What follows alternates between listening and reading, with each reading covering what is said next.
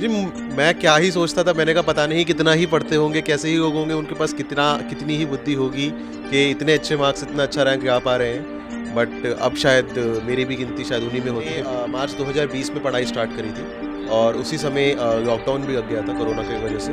तो ये बात थी कि कॉलेज की क्लासेस ऑनलाइन आधे घंटे पढ़ा करता था। मुझे नहीं लगता कि उससे ज़्यादा पढ़ने की ज़रूरत है। अगर आप छः से सात घंटे दिन के दे रहे हैं तो वो सफिशेंट है।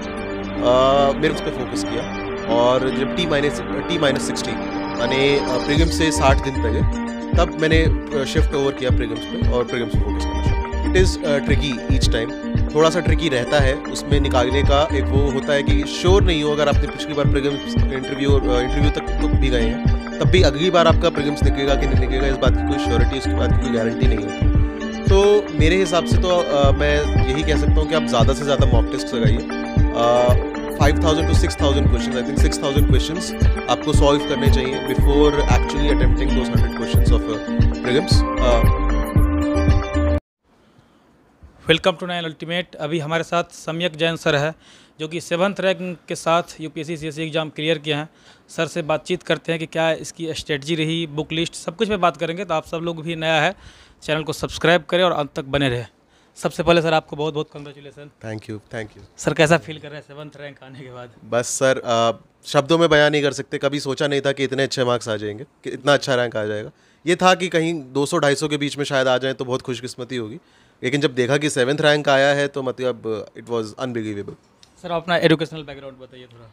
जी मैंने अपना जो ग्रेजुएशन है वो DU से किया है बीए इंग्लिश ऑनर्स में। उसके बाद मैं 2018 में आईआईएमसी गया 2018 से 19 में मैंने वहाँ पे पीजी डिप्लोमा किया इंग्लिश जर्नलिज्म में। और उसके बाद मैंने उन्नीस से इक्कीस तक जेएनयू में मास्टर्स किया M A in politics with specialisation in international studies school of international studies के अंडर का एक कोर्स ये। इससे पहले सर आप टॉपर के बारे में क्या सोचते थे? जी मैं क्या ही सोचता था मैंने कहा पता नहीं कितना ही पढ़ते होंगे कैसे ही लोग होंगे उनके पास कितना कितनी ही बुद्धि होगी कि इतने अच्छे मार्क्स इतना अच्छा रैंक ला पा रहे हैं। बट अब शायद मेरी भी गिनती शायद उन्हीं में होती है। सर आप अपना टाइम टेबल वगैरह थोड़ा बताएँगे कई सारे लोग जानते कमेंट वगैरह करते रहते हैं। जी मेरा टाइम टेबल एक्चुअली मैंने आ, मार्च 2020 में पढ़ाई स्टार्ट करी थी। और उसी समय लॉकडाउन भी लग गया था कोरोना की वजह से। तो ये बात थी कि कॉलेज की क्लासेस ऑनलाइन हो गई थी। तो समय बहुत मिल रहा था लाइफ में। तो मैंने जो अपना ज़्यादातर समय है यूपीएससी के ही दिया है और और उसके बाद का बचा हुआ समय मैंने अपनी एक्स्ट्रा करिकुलर एक्टिविटीज़ वगैरह में डिवोट किया। तो मैं गरीबन दिन के छः से सात घंटे पढ़ा करता था। मुझे नहीं लगता कि उससे ज़्यादा पढ़ने की ज़रूरत है। अगर आप छः से सात घंटे दिन के दे रहे हैं तो वो सफिशेंट है। आ, मेरे को हमेशा से ये पता था कि मेंस जो है वो उस पर प्राइमरी फोकस होना चाहिए। तो आ, मैंने स्टार्टिंग से ही पहले मेंस पे फोकस किया और जब T minus T minus sixty माने प्रीगम्स से साठ दिन पहले तब मैंने शिफ्ट ओवर किया प्रीगम्स पे और प्रीगम्स पे फोकस करना शुरू किया। सर प्रीलियम्स के लिए कई सारे कमेंट आते हैं कुछ स्ट्रेटजी बताइए सर आप। हाँ प्रीगम्स देखिए it is tricky each time थोड़ा सा ट्रिकी रहता है उसमें निकालने का एक वो होता है कि श्योर नहीं हो अगर आपने पिछली बार प्रीगम्स इंटरव्यू इंटरव्यू तक तो भी गए हैं। तब भी अगली बार आपका प्रीलिम्स निकलेगा कि नहीं निकलेगा इस बात की कोई श्योरिटी उसके बाद की कोई गारंटी नहीं होती।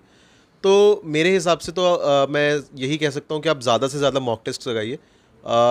Five thousand to six thousand question I think six thousand question आपको सॉल्व करने चाहिए before actually attempting those hundred question of prelims actual prelims आप एक कम से कम एक मॉक टेस्ट सीरीज़ पूरी लगाइए किसी भी एक अच्छे रिप्यूटेड कोचिंग क्लास की। एक पूरी thirty to thirty five test की जो टेस्ट सीरीज़ होती है वो पूरी लगाइए और उसको रिवाइज भी कीजिए। ये बहुत ज़रूरी है। उसमें सेक्शनल टेस्ट भी होंगे, उसमें फुल लेंथ टेस्ट भी होंगे। वो सारे लगाने ज़रूरी हैं। कॉन्स्टेंट इवेल्यूशन बहुत ज़रूरी है। कंसिस्टेंसी बहुत ज़रूरी है। आपको एक मिनिमम नंबर ऑफ़ अटैम्प्ट लगाने ही होंगे। आप 80 85 टू 90 से कम क्वेश्चन अटैम्प्ट नहीं कर सकते। आपको रिस्क लेना होगा। अगर आपकी प्रिपरेशन बहुत अच्छी है, आपने सब कुछ पढ़ा है तो भी यूपीएससी इतना अनप्रडिक्टेबल है कि उन सौ में से ज़्यादा से ज़्यादा आपको चालीस, पैंतालीस क्वेश्चन आते होंगे। मुझे नहीं लगता कि किसी सीरियस कैंडिडेट ने वो 45 से ज़्यादा क्वेश्चंस बिफोर हैंड देखे होंगे। तो जो जो रेस्ट 40 45 क्वेश्चंस होंगे वो कहीं ना कहीं कैलकुलेटेड गेसेस ही होंगे और वही रिस्क आपको लेना होगा। तो मेरे ख्याल से कॉन्फिडेंस इज़ की इन प्रिगम्स एंड अगर आप कैलकुलेटेड गेसेस ले रहे हैं so I think that will go long way sir mains की आंसर राइटिंग के बारे में कुछ बताइए। जी मेंस की answer writing again it is very important and it is very important कि आप उसको प्रिगम से पहले ही स्टार्ट कर दें। मैं मैं ऐसा करता था कि मैंने लगभग प्रीलिम्स से पहले पहले तक uh, मैंने एक मेंस की टेस्ट सीरीज़ गई हुई थी और लगभग दस दस टेस्ट उसके माने 200 क्वेश्चंस पूरे सॉल्व कर गए थे मैंने। अब ये सारे ही सब्जेक्ट्स के थे जी एस वन से लेकर जी एस फोर तक सभी सब्जेक्ट्स के पेपर्स थे ये। और एक बार प्रीलिम्स हो गया उसके बाद तो लगभग रोज का ही सिर्फ़ और सिर्फ़ आंसर राइटिंग पर फोकस था। आपको ये देखना है कि आप कम से कम शब्दों में ज़्यादा से ज़्यादा बातें कैसे कर सकते हैं। Use of diagrams is very important maps is very important presentation बहुत मैटर करती है स्पीड आपको मेंटेन करनी है और वो सब ये सब तभी आएगा जब आप लिख लिख कर बार बार प्रैक्टिस करेंगे तभी आपका ये मसल मेमोरी बन जाएगी। उस इसी तरीके से आप कर सकते हैं। तो सर ऑप्शनल आपका क्या था सर? और ऑप्शनल का चयन कैसे करना चाहिए? जी आ, मेरा ऑप्शनल पी था political science and international relation वही जिसमें मैंने अपनी मास्टर्स करी है JNU से।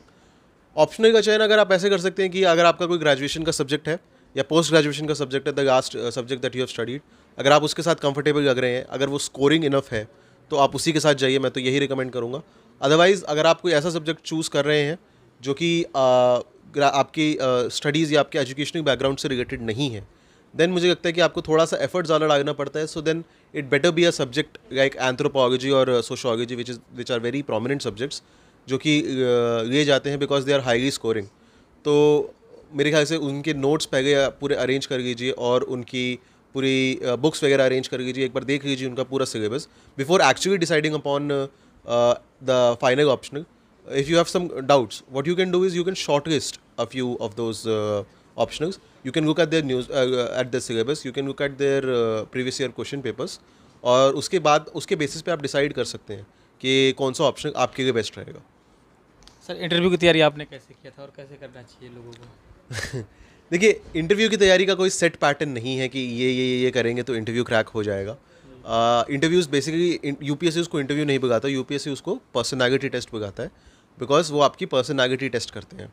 तो मुझे लगता है कि आ, आपकी पूरी तैयारी के दौरान ही कहीं ना कहीं आपकी एक पर्सनैलिटी इवॉल्व होकर आ रही होती है because as you are gaining knowledge you are your personality is also evolving once the mains are over you can take a break but अगर आपको लगता है कि आप मेन्स क्लियर कर रहे हैं देन मुझे लगता है कि थोड़ा थोड़ा कोशिश थोड़ा थोड़ा आप uh, तभी से इंटरव्यू uh, की तैयारी शुरू कर सकते हैं you can start by deciding your hobbies कि मेरे दो तीन हॉबीज़ जो मुझे अपने डैफ में लिखने रहेंगे वो ये ये ये होंगे and what you can do is you can in the in period after your mains and before the mains results comes out, you can brush up your hobbies. हम सबकी कुछ ना कुछ हॉबीज़ होती हैं बट ऑफकोर्स हम UPSC की preparation में इतना ज़्यादा बिज़ी हो जाते हैं कि शायद हम सबको वो हॉबीज़ प्रैक्टिस कर प्रैक्टिस करने का भी टाइम नहीं मिल पाता।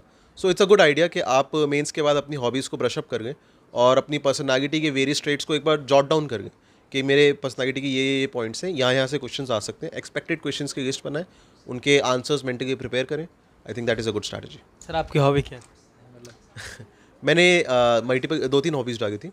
तो मेरी एक हॉबी थी I like reading political non fiction books then I like watching movies and web series and I also like going for walks sir आप मतलब जैसे कि मतलब IAS लेंगे आई लेंगे क्या लेंगे सर सेवंथ रैंक पे तो कुछ भी मिल सकता मेरा फ़र्स्ट प्रेफरेंस आई था एंड मुझे लगता है कि इस रैंक पे मेरे को मेरा फ़र्स्ट प्रेफरेंस मिल जाना चाहिए so I am hopeful for I thank you sir thank you thank you